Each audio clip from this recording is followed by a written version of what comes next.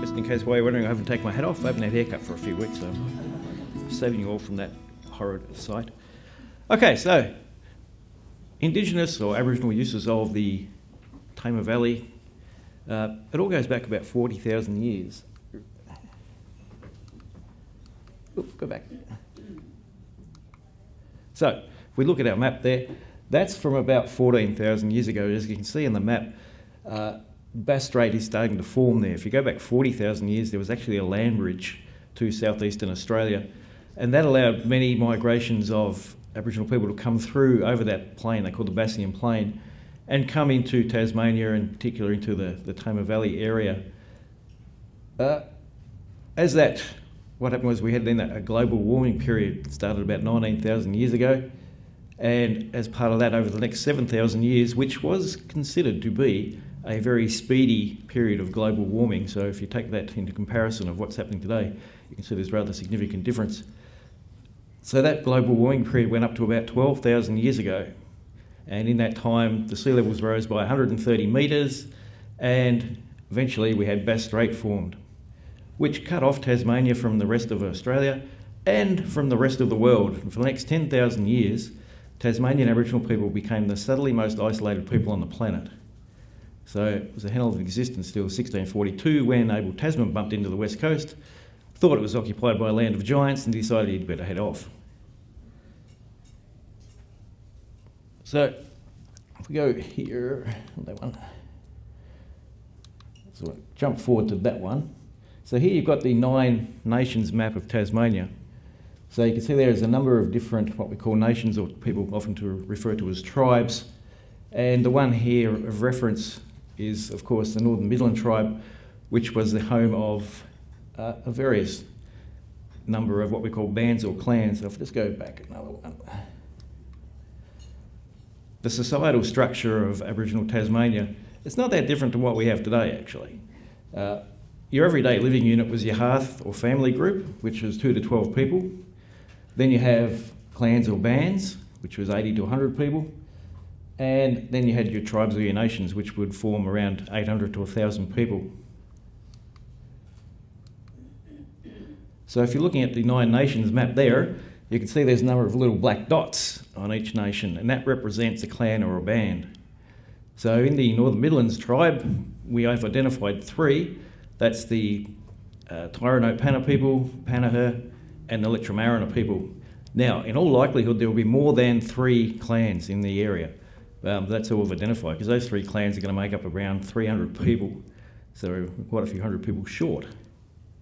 Uh, it's worth noting these are European interpretations of people's movements and where they actually stayed, uh, so it's not something that's uh, probably entirely accurate for the time. So I'll just go back another one. Now, I just want to point out this man here for a few of the cultural reasons of the, well, cultural artefacts that he's got. So he's got a fire stick. The one he's got there with the pointy stick, that's not a spear. Uh, spears were much thinner. That's a killing stick. So when you were hunting, your spear was a disabling weapon, not a killing weapon. So you disable the animal, then you run up and either whack it on the head with a waddy, or you kill it with a killing stick through the heart. It's got ochre in the hair. Uh, the ochre in the hair was probably done to stop um, infestations of nits or fleas, and the women wouldn't ochre their hair, they'd actually cut it all off. The interesting one there is what's around his neck. That is a jawbone, and it's actually a jawbone of one of his relatives. So the burial and mourning practices in Tasmania varied between various people. Uh, the most thing that was most common though is actually when somebody died, you burn the body. Two reasons for that. One, you don't want your dead relative to be nibbled on by animals during the night. And of course, corpses tend to spread disease. So you have to burn the flesh off and then you collect the bones. And for some people, they would wear part of their dead relative around their neck for a period of about 12, well, 12 weeks, three months. And then at the end, they would take that off, uh, repatriate it with the rest of the bones, and seal them up in either an earth tomb or a hollow tree, something like that, depending on what nation you belong to and what your practices were. So when it comes to the Tamar Valley, One of the important things here, of course, was ochre, which is in the hair there. And if you've never seen or touched ochre, this is it here, and I'll hand some around so you can just pass it around.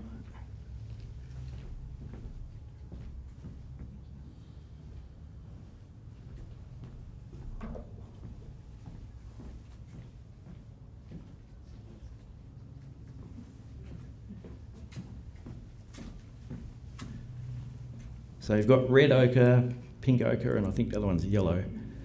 So very different colours. And the Tamar Valley itself was, or still is, home to many different types of ochre. Uh, so up and down the Tamar on the east and the western sides, there are different ochre mines around. And there is also one out at Rocherlea. And interestingly, uh, back in the early 20th century, such was the um, prevalence of the ochre that a paint, or a company set up a paint factory and they made 277 different colours of using ochre and linseed oil. So uh, very significant. It gives you an idea of the significance if the, the non-Indigenous people found it was useful, useful as well. Of course, one of the most important things would be plants and food.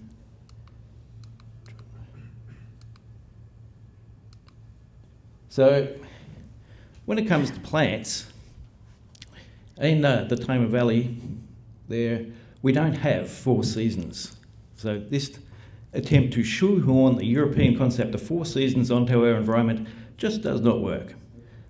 There's actually six different stages. Now you take your starting point as the shortest day of the year, and from then on, when we start getting more sunlight and the days are longer, you start to have the trees and animals are doing things. And the first one is usually the wattle, which you can see there in full bloom and that'll bloom up in late July, August, and that means about six to eight weeks later, you're going to have seed pods coming through, and those seed pods will be edible. So it's a food source, it's a vegetable. Ooh, go back one. Following on from that, you'll get your she oak, which is very prevalent, uh, and the little oak apples that come through on there, the little seed pods before they actually turn to seed, they're edible, and uh, they taste a bit like Granny Smith apples. If you want to go and munch on a she oak leaf, feel free, uh, and you'll get to see what it tastes like.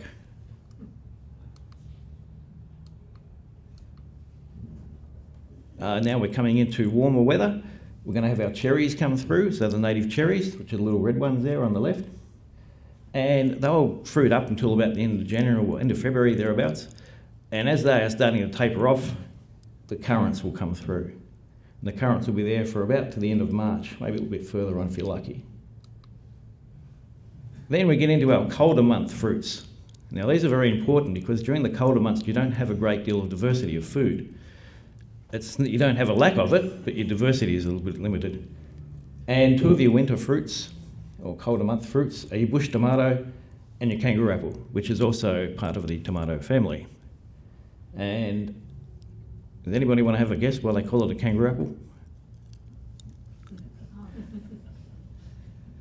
No, kangaroos don't eat it. It was uh, well before it actually fully ripens to that yellow colour there.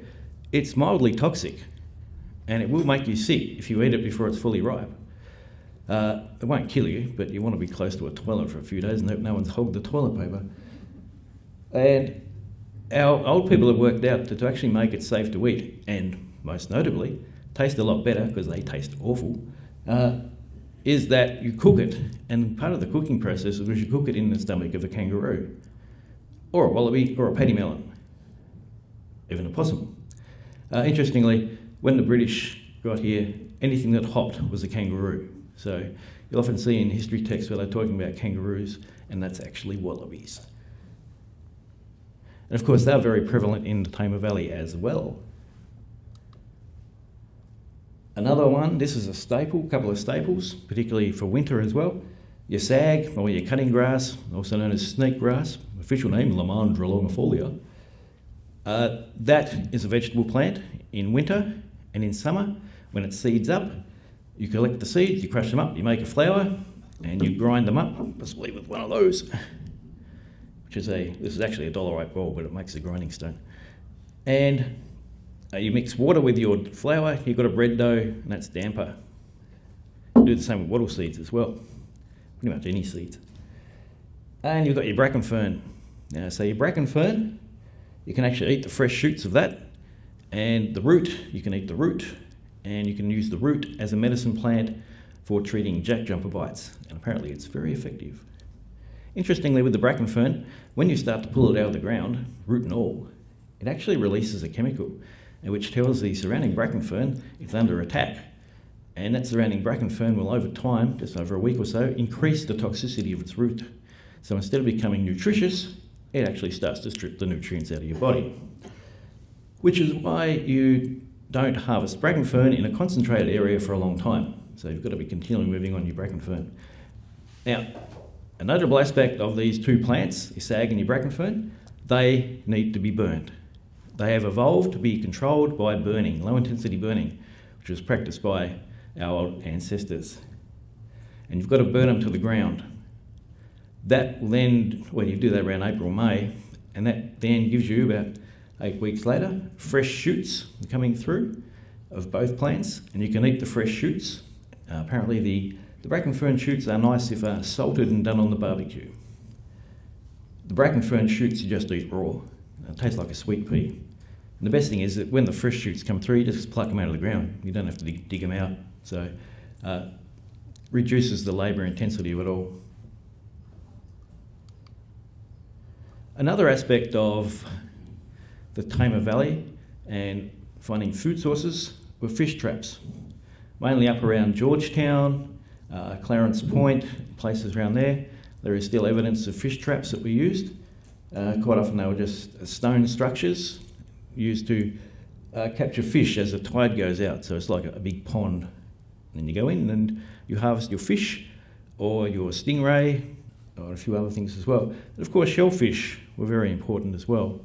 So oysters, in particular, up and down the Tamar Valley, big food source. Interestingly, with the oysters, uh, when the British came here in 1806, uh, and when they did start making brick buildings, which wasn't until around 1824, uh, they sourced their lime as the, um, the leftover oyster shells they found in middens up and down the Tamar Valley. So they actually des- destroyed hundreds of middens. But they didn't realise, of course, what they were. They just would have seen them as a rubbish dump of big shells, something to be exploited. That's why we have very few middens that can be found up and down the Tamar on both sides, because most of the middens were destroyed. One aspect of life in the Tamar Valley for Aboriginal people was ceremony. And Launceston being central to many different tribes, if you kind of cast your mind back to that map, there's the, the Northeast tribe, Ben Lomond tribe, Midland tribe, northern parts of the Big River people, and the North tribe. And they would come to Launceston and have ceremony up in the hills around us, and that is in the Trevallyn Reserve, is marking a, gathering site. And when people gather, they camp. So they have campsites as well. So just go back there. And of course, you might be asking, what about the gorge? One of the central features of the Tamar Valley. It was a place to gather for recreation, uh, small ceremonies like initiations in particular areas in the gorge, and food like big freshwater mussel. Used to be found in the gorge below the dam, what is now the dam. Uh, they're extinct below the dam now because they don't get enough uh, water and oxygen, no nutrients. But uh, when they put the dam in, the water flow being reduced to what it is, reduced the nutrients and the oxygen levels in the river and the first basin, so these things went extinct. And just to really finish off, some Aboriginal names. Of course, you know Kanamaluka, there's also Ponrabbel, which refers to the Tamar estuary. For the South Esk River, we have Mangana Lienta, which means big fresh water on the plain. Uh, which means big fresh water. As we also have, uh, what's that? Moonronero, Mangana Lienta. Oh, Pleepatomala, which means fresh water. And on the subject of fresh water, Lagana also means fresh water, but in another language means fresh poo. so take your pick which one you want to use. Thank you.